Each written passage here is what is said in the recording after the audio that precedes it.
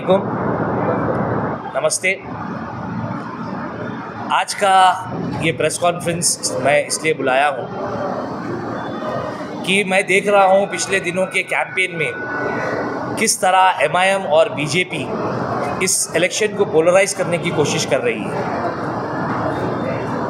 मैं आज एक सवाल उठाना चाहता हूँ, जिसमें मेरा सवाल सीधा असदुद्दीन अवैसी जो हैदराबाद के सिटिंग एमपी है उनसे है कि आपकी गवर्नमेंट, आप चार मीनार हैदराबाद पार्लियामेंट में 1984 से आप यहाँ के प्राइम मिनिस्टर, आपके यहाँ के एमपी हैं आप। 1984 से आप हैदराबाद के किंग राजा बने हुए हैं। 1984 से आप मेरे को ये बताइए कि 1984 से अब तक का, आज 2024 तक आप पार्लियामेंट में हैदराबाद के लिए आवाज़ उठा के हैदराबाद के लिए क्या क्या डेवलपमेंट्स लेके आए?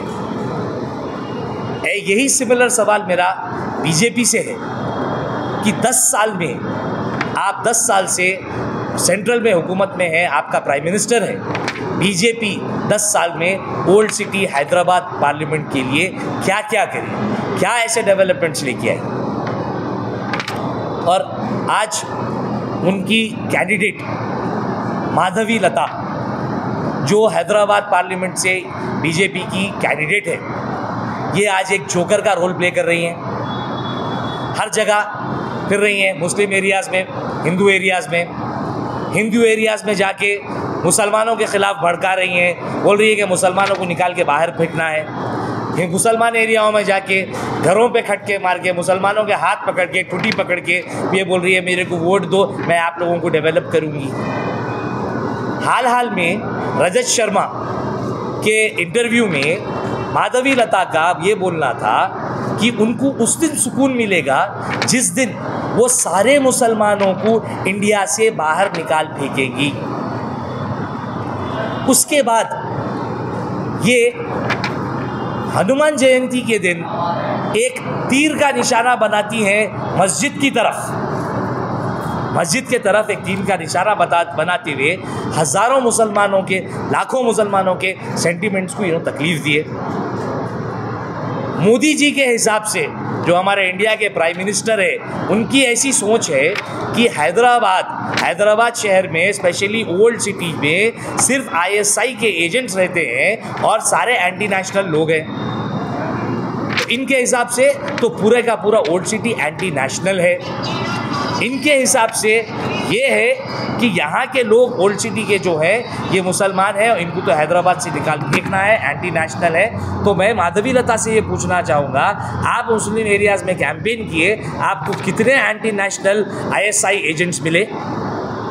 जब मुसलमान anti anti national ISI agent है, इनको देश से निकाल फेंकना है तो किस हक से आप आ रहे हैं? क्यों आप वोट मांग रहे हैं? आप कुछ नहीं कर रहे हैं इस वक्त। आप एक जोकर का रोल प्ले कर रही। बीजेपी जिसका ये सोचना है कि मुसलमान हिंदुस्तान के लिए हानिकारक है। जो सी एन आर सी लेके आके मुसलमान को ख़त्म करना चाह रही है। हैदराबाद हैदराबाद शहर एक मुसलमानों का शहर है।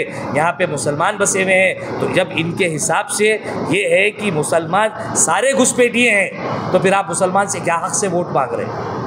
लिहाजा आप मीडिया में आपके स्टेटमेंट्स देते हुए आप ये इलेक्शन को पोलराइज करना चाह रहे हैं, आप हिंदू और मुसलमान को डिवाइड करना चाह रहे हैं, आप हिंदू और मुसलमान के बीच पे फूट डाल के झगड़ा करना चाह रहे हैं। तो मेरी लोगों से गुजारिश है कि ये जो फ़िरका परस्त पार्टीज़ हैं, माधवी, लता, अकबरुद्दीन अवैसी, असदुद्दीन अवैसी आज जिस तरह आज इलेक्शन को पोलराइज कर रहे हैं एक तरफ़ एमआईएम एक तरफ़ बीजेपी एमआईएम की सोच तो ओल्ड सिटी को लेके हमेशा गलत रही। एमआईएम तो हमेशा ओल्ड सिटी को सिर्फ़ आज इलेक्शन चलो हैदराबाद का छोड़ दीजिए। हैदराबाद में यहाँ पे तीन पार्टी है एमआईएम बीजेपी कांग्रेस, जिसके बीच में ट्राइंगल इलेक्शन चल रहा। हिंदुस्तान में किसके बीच में इलेक्शन चल रहा? हिंदुस्तान में तो दो ही पार्टी के बीच में इलेक्शन चल रहा। एक है कांग्रेस, एक है बीजेपी जब दो पार्टी के बीच में इलेक्शन चल रहा है जब दोनों ऑपोजिट पार्टी है तो किस तरह बी टीम हो सकती बताइए? तेलंगाना में बोला जाए। तेलंगाना में कैसा बोल सकते हैं आप? जब इलेक्शन तेलंगाना में भी हम बीजेपी के अगेंस्ट में लड़ रहे हैं जब हम सेंट्रल में लड़ रहे हैं ये लोकसभा का इलेक्शन है ये सेंट्रल का इलेक्शन है ये तेलंगाना का इलेक्शन नहीं है। हम यहाँ पे इलेक्शन लड़ रहे हैं तो हम बीजेपी भी अगेंस्ट में लड़ रहे हैं। हम बी टीम नहीं है A I M I M B team है। टीआरएस बीटी में मोदी तो बोला कि मेरी बेटी को अरेस्ट कर लिया मैं मेरा मीटिंग कैसा होगा? सब दिखावा है। सब पब्लिक के नज़रों में धूल झोंक रहे सिंपति के लिए अरेस्ट करके रखे। ये सब धूल झोंकना है। हम बी टीम नहीं है। ये जो इल्ज़ाम है बी टीम कांग्रेस के ऊपर, ये बिल्कुल बेसलेस और गलत है। हम तो बीजेपी के अगेंस्ट में, कांग्रेस एक सेक्युलर पार्टी है। ये मज़हब के नाम पर वोट मांगने वाले जो लोग हैं, जो फिरका परस पार्टियाँ है, इनके अगेंस्ट में तो कांग्रेस की हमेशा से लड़ाई रही। इनकी, इनसे कांग्रेस की दोस्ती कभी नहीं हो सकती। कांग्रेस में आती है तो कांग्रेस अगर अख्तार में आती है हैदराबाद में तो यहाँ पे सबसे पहला बड़ा जो मुद्दा है, अब हमारे पास ओल्ड सिटी में कई बच्चे हैं जो बेरोज़गार बैठे हुए हैं पढ़ के लिखने के बाद। सबसे पहले ये बच्चों को रोज़गार पे लगाना है। ओल्ड सिटी में ऐसे डेवलपमेंट्स लाना है, जो ओल्ड सिटी के अंदर खुद रोज़गार पैदा हो। सबसे पहले हमारा मुद्दा वही है कि हम ओल्ड सिटी के अंदर डेवलपमेंट लाएँगे। यहाँ के रोड्स रोड्स की हालत देखिए आप क्या है। आप चलते कम घड़े ज़्यादा है। यहाँ के रोड इंफ्रास्ट्रक्चर को सही करना है, यहाँ का सुवेज सिस्टम को सही करने का है। यहाँ पे अच्छे स्कूल्स नहीं है कॉलेजेस नहीं है, यहाँ पे हायर एजुकेशन की कोई फैसिलिटी नहीं है। हमको अच्छे स्कूल अच्छे कॉलेजेस लाना है। आज यहाँ पूरे हैदराबाद पार्लियामेंट में एक ऐसा मल्टी स्पेशलिटी गवर्नमेंट हॉस्पिटल नहीं है, जिसके अंदर आप जाके आराम से इलाज करा सके। हमको ये लाना है। तो यही आज एआईएमएम से मेरा सवाल था। यहाँ के असदुद्दीन अवैसी से यही सवाल था कि 1984 से आप इकतदार पे है। क्या आप ये आज तक का ये फैसिलिटीज़ हैदराबाद में, हैदराबाद पार्लियामेंट के जब आप एमपी रहे तो ये फैसिलिटीज़ आप क्यों नहीं लेके आए? आप बताइए कि आप क्या फैसिलिटीज़ लेके आए? यही आज का मेरा सवाल था। बीजेपी तो ओल्ड सिटी को हमेशा एक घुसपैठिए की नज़र से देखी।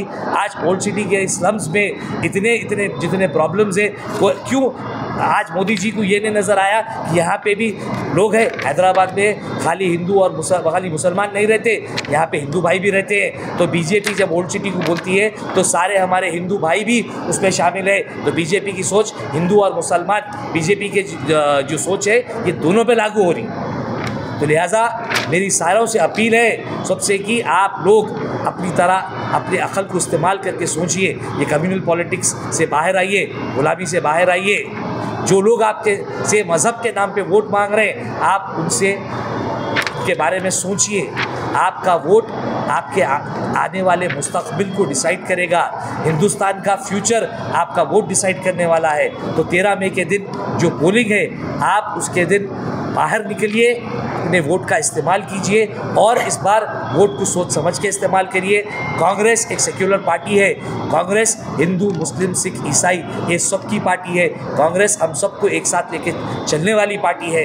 तो आप लोगों से गुजारिश है कि इस बार मज़हब के नाम पे वोट देने वालों से ख़ता ताल्लुक़ करिए, इनसे दूरी करिए और कांग्रेस आपसे डेवलपमेंट के नाम पे वोट मांग रही है।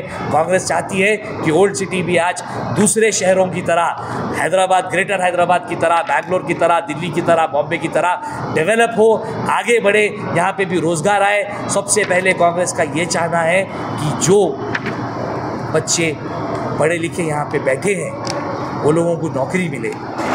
हमारा यूथ से अपील है कि आप लोग आगे बढ़िए, कांग्रेस की साथ का साथ दीजिए। इन हम आपकी बेहतरी की बेहतरी के लिए जो कांग्रेस पार्टी कर सकती है, आपके डेवलपमेंट के लिए कांग्रेस पार्टी इन ज़रूर करेगी पहले ये बोली, जिस दिन मैं मुसलमानों को हिंदुस्तान से बाहर निकाल के फेंक दूँगी, उस दिन सुकून में आऊँगी।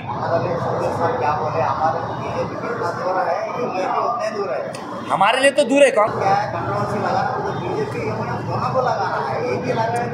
बीजेपी जाके मुसलमानों से वोट मांग रही आज तो मैं बीजेपी के सवाल ज़्यादा इम्पोर्टेंट है